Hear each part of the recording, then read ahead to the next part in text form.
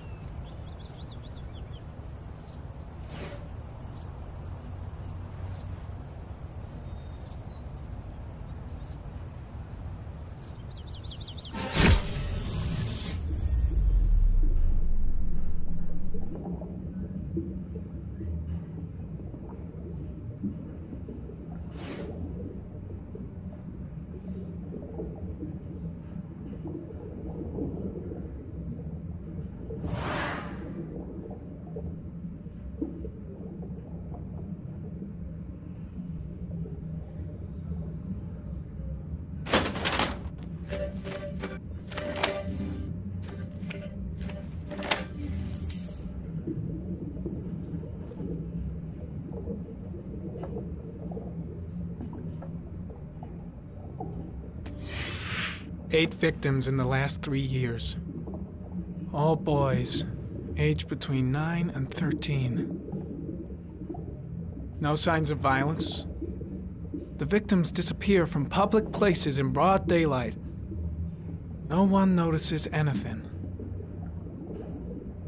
Bodies are found three to five days later, drowned in rainwater.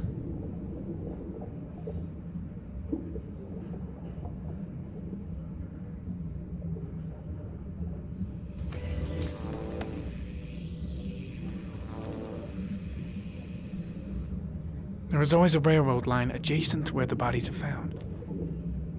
And all the victims disappeared in the fall.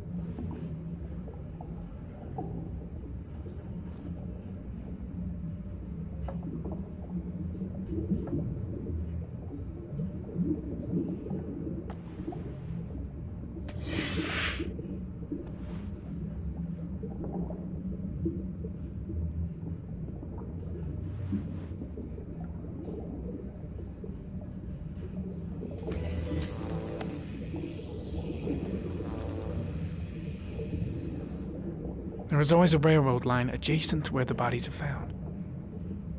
And all the victims disappeared in the fall.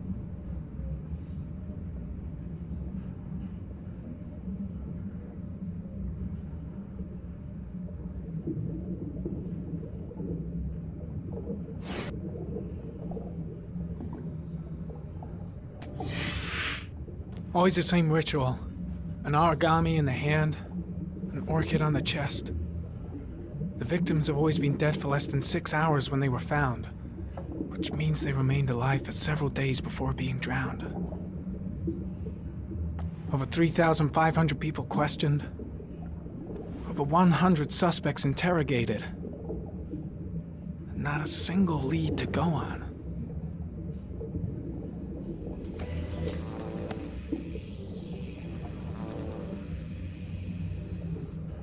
The killer is white, aged between 30 and 45. He is intelligent, calm, and determined. An organized type. He has a car. He's probably employed, but his work allows him free time.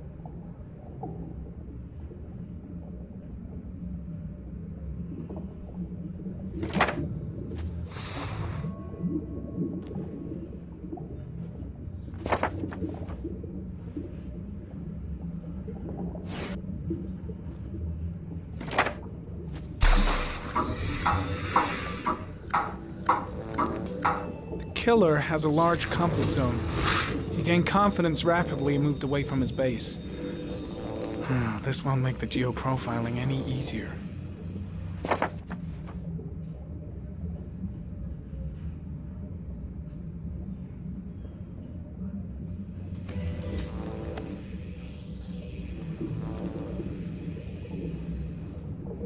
Is always a railroad line adjacent to where the bodies are found. And all the victims disappeared in the fall.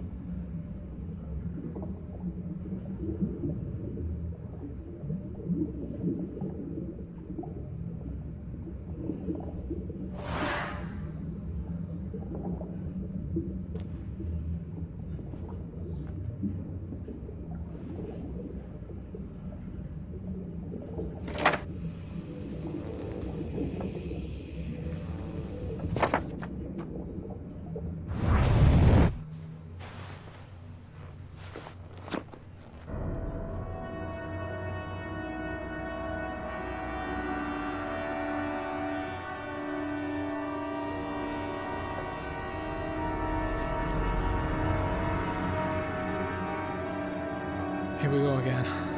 I better go wash my face.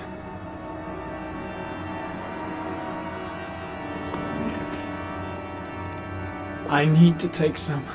I'm gonna faint if I resist. That's alright. I know I can make it. I know. I know I can make it.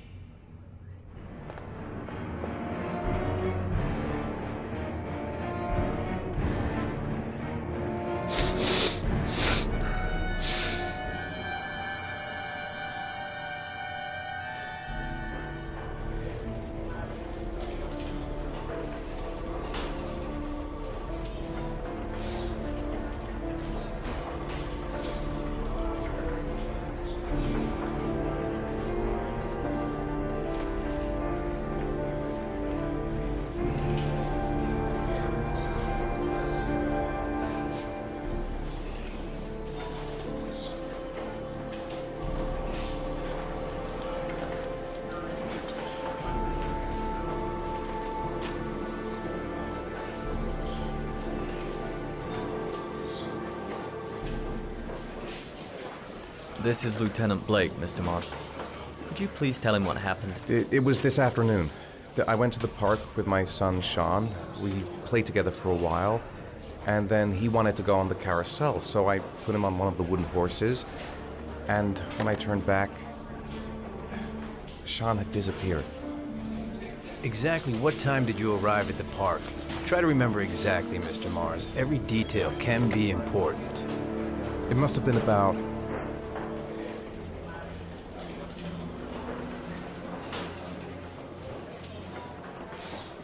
Four fifteen. Yeah, that's it. Four fifteen. I remember exactly because I looked at the clock in the park when we arrived. What was your son wearing when he disappeared? He was wearing a coat.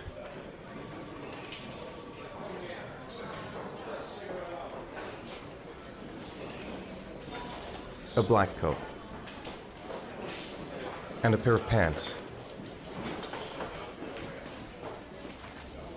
Beige pants. How could Sean have disappeared without you even noticing? Weren't you right by the carousel?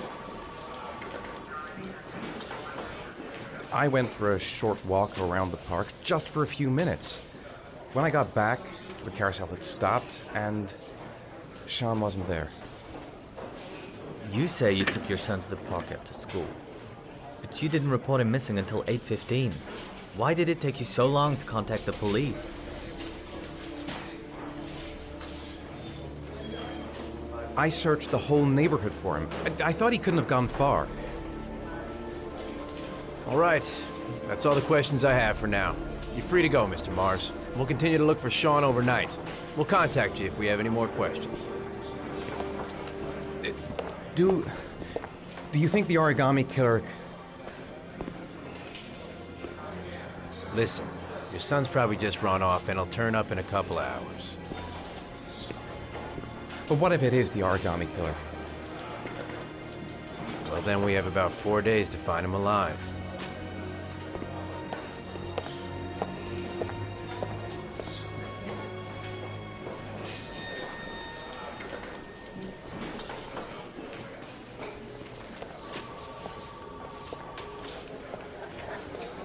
Did they find something?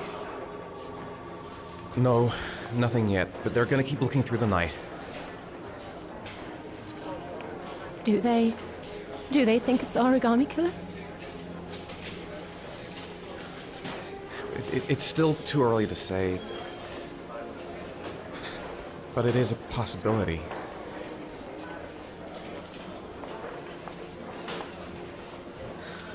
What happened, Ethan? How could you lose Sean like that? You should never have taken your eyes off him. I mean, for God's sake, how hard is it to keep your eye on a child in the park? Why did you leave him, Ethan? Why? Wasn't it enough losing Jason? I'm sorry. It's not what I meant to say.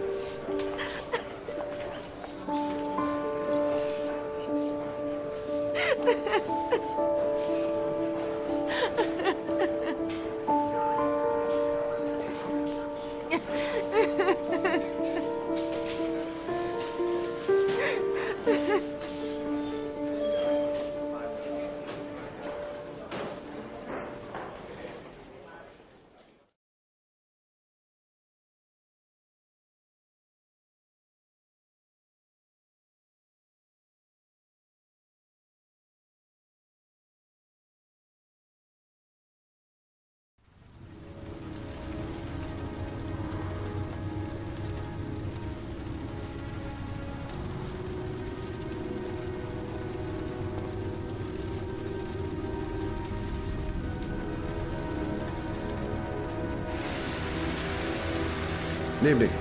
Good evening to you, sir. Can I help you, sir? Well, I hope so. My name's Scott Shelby. I'm a private detective.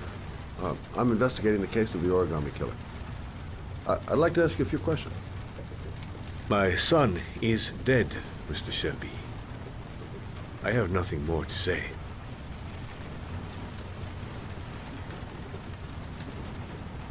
You may know something that could help save other people's lives. I was unable to save the life of my own son. I do not see how I could save the lives of other people. I also lost someone I loved. I know what you're feeling. Then you will understand that I do not wish to talk about it. Oh, do you sell inhalers? I'm all out, and at least I won't go away completely empty-handed. In the back of this store, to the right. Thanks.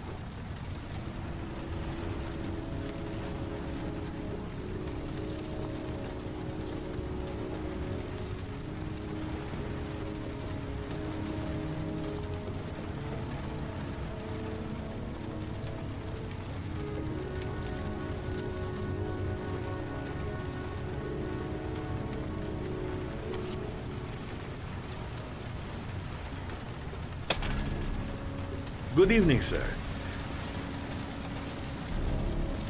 Are you looking for something in particular? Give me what you got in the register. Don't fucking try anything. Open the register, you dumb fuck! Put the money on the counter. Shit, are you deaf or what? Are you gonna open that fucking register or not? No, sir. You do not have the right to steal that money from me. I have worked very hard to earn it. You cannot. Hey, you! Come here! I said come here now! Don't move! Hands up! Put your fucking hands up or I'll shoot!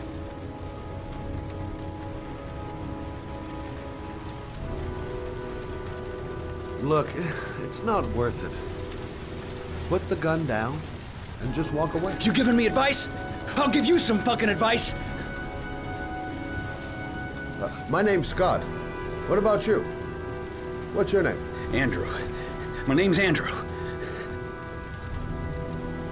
Do you have anyone you care for in your life? A, a girlfriend, maybe? A family? Yeah. A little girl. I got a little girl. Her name's Jessica. What would Jessica think if she saw you here? Ask yourself, what would happen to her if things go wrong? So what are you gonna do? Someone could walk in the store any minute and sound the alarm. You haven't got a chance of getting out of this. The first guy to walk in here gets it right in the face. Fuck it, man, you're making me nervous.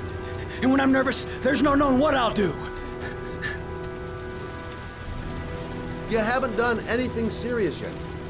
If you put the gun away, we'll forget about what just happened, and that will be the end of it. Just walk away. Nothing serious.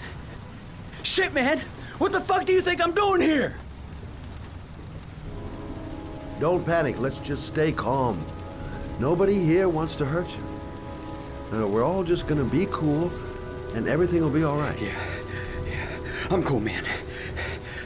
Everything's gonna be all fucking right.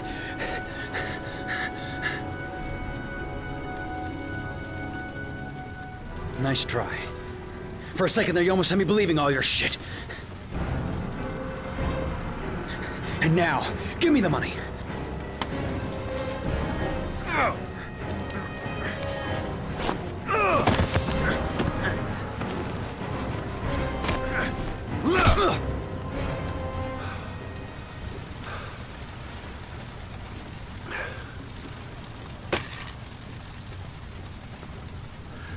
Thousand thank you, sir. I don't know what would have happened if you had not been Well. here. At least I didn't come by for nothing. Have a nice day. When my boy, Reza, disappeared, I received a letter with a locker ticket inside. Inside the locker, I found this box. I do not understand what it means, but I think it must be a sort of message from the man who took my son from me. Can I?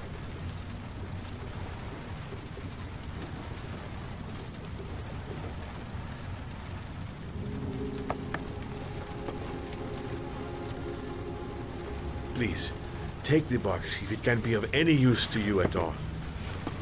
It did not help me to save Reza, but maybe it will help you find the other little boy.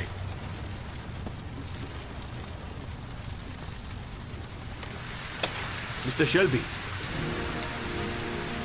I was beginning to think that there was no good to be found in this place. I can see now that I was wrong.